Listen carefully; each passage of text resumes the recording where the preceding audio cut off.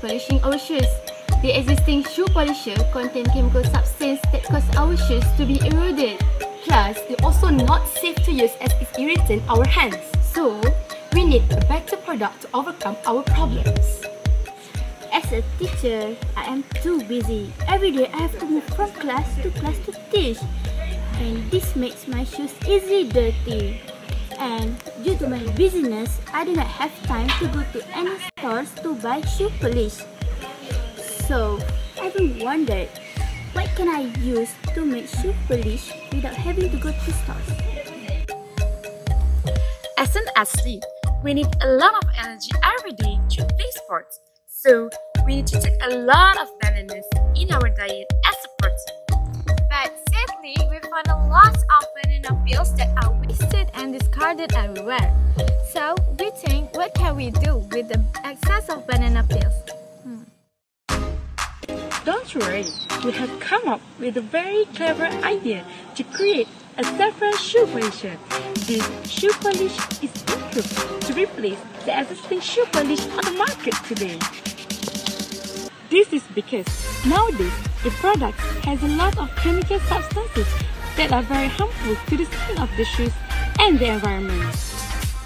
For example, carbon black, which can lead to air pollution and very dangerous as it may be harmful to human health, which it can cause cancer or dizziness.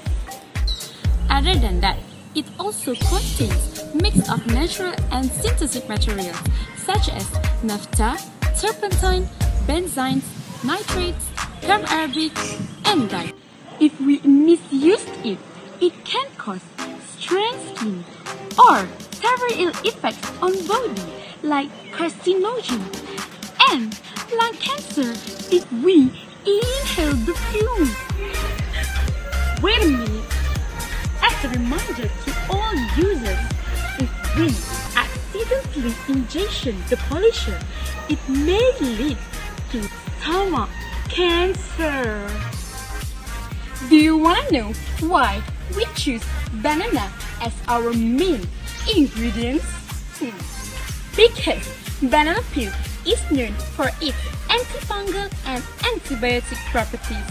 The articles and pamphlets say that banana peel is even effective in shining and smoothing surfaces like shoes made up of leather, as banana is an alkaline substance.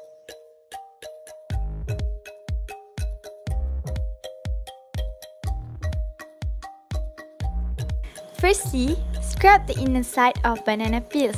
Then, smash the banana peels until it's fine. Add 25 ml of distilled water into the beaker and heat the water evenly. Add pectin powder into the boiling water. Stir it until it's fine. Put the banana peels into the beaker. Add 1.5 ml of lemon juice. Mix the banana peels with the pectin solution. Heat and stir them well. Lastly, transfer them into dispenser pump plastic bottle. The graph shows concentration of pectin against durability of product before molting to produce a high quality shoe polisher for the society. Look at these shoes, it is full with dirt and slag. But don't worry, we have a solution for the users. First, we just need to pinch a little bit of platinum shoe polisher on the shoe. Then, rub it all over the shoes using a tissue. Ooh, look at the differences between these shoes. It is more clean than the other one.